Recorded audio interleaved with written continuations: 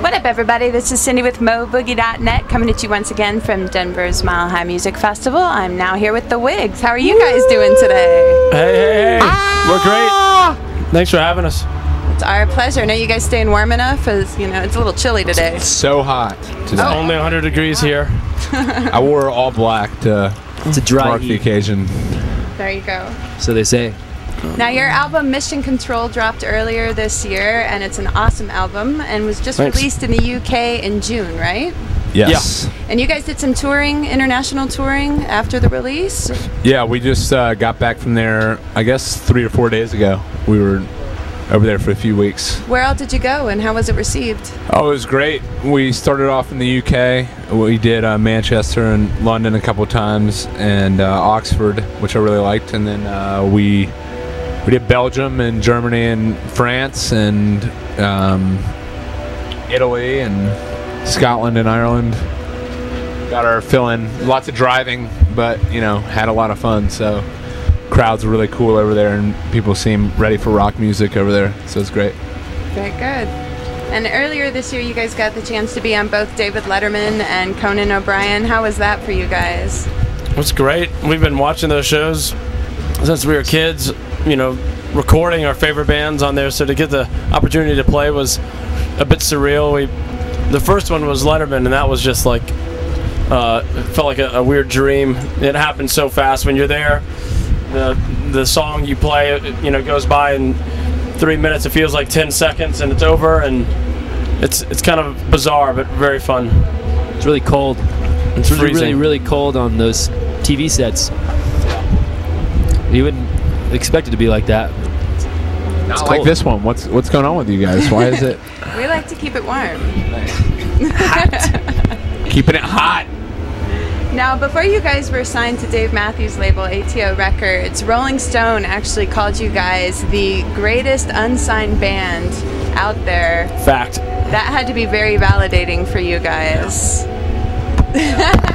Yeah. Um, it was it was flattering. We you know that was also the first time we were in Rolling Stone, so getting press like that. It was probably the first time we were had much national press. So it was really flattering, and um, you know we did, we tried to just accept it as a as a compliment and move on and continue to play and do do what we do, and it was it was nice, and hopefully it.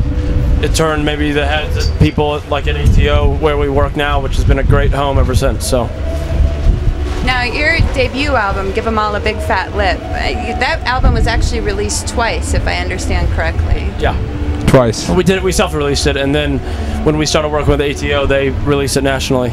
Now, I heard that that album was recorded in an empty frat house near the University of Georgia using equipment that you bought and later resold on eBay. Is that accurate? That is true. You got it. Um, we didn't have any money.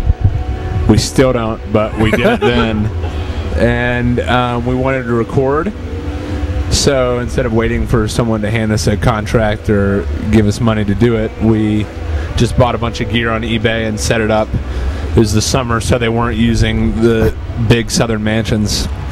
So we just set it up in this big house where you could hear the big room and um, used all the equipment we had bought for you know a month and a half. And then when we were finished we just stuck it right back on the internet.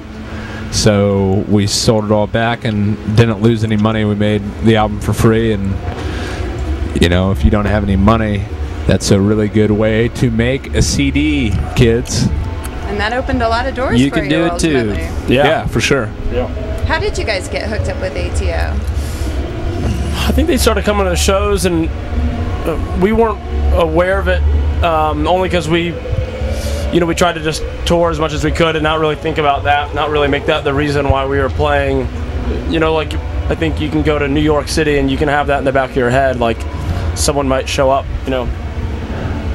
We just went and played and wanted to have as much fun. And at that time, it was like the first time we'd ever played in New York, so we were so excited that uh, we were oblivious to it. And I think after they saw us a couple times, and I guess it was after that Rolling Stone article you're you're talking about, that brought some people to, to shows, you know, and they approached us and I think the best part was that they they came to us and said that they loved the band, um, you know, as we were, and that they wanted to work with us. Period. You know. Yeah. And that was exciting for us because some other run-ins we had had would always be a little different. You know, say we love this band, we'd like to change this and try this and change this around, and Yeah. and uh, and maybe we won't even give you a contract, but let's work on you Yeah. know. And you're kind of thinking, well, this is Yeah. really exciting. We love your band and we love your sounds and we love your songs. So let's change all your songs and change your sound and let's work together is not a very good first step. So ATO was the first people who were like, we like what you're doing. You know, let's just do it together. So, So they pretty much let you maintain your own creative control. oh yeah, they're they're Awesome. amazing. Yeah. They're and we like working with them, so we Yeah. like hearing their opinion. You know, totally.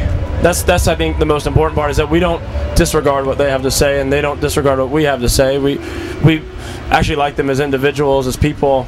So when someone says, "Well, this song's really a new song," or "Oh, "This is great," but I have a, a thought about releasing it this way, or let's do a seven-inch or whatever, you actually think, "Well, that's a pretty cool idea," instead of just ignoring them because you don't you have that bad working relationship that he was sort of talking about. You get off on the right foot, you know.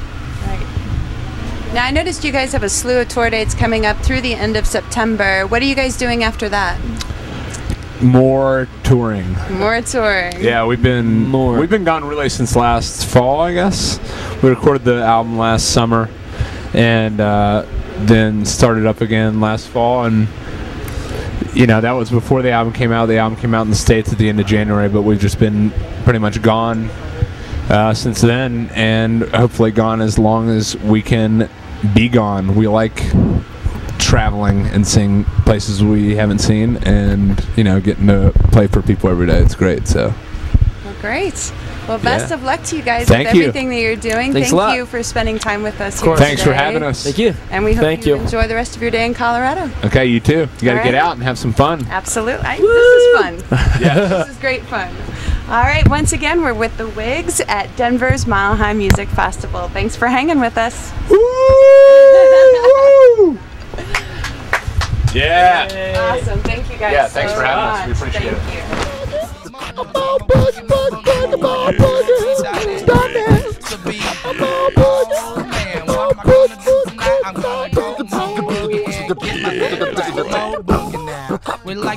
boogie, mo, mo, boogie mo boogie, mo boogie, mo, mo, mo, mo, mo, boogie mo boogie, mo boogie, mo, mo, boogie mo boogie, mo boogie, mo boogie, mo, boogie. Yeah.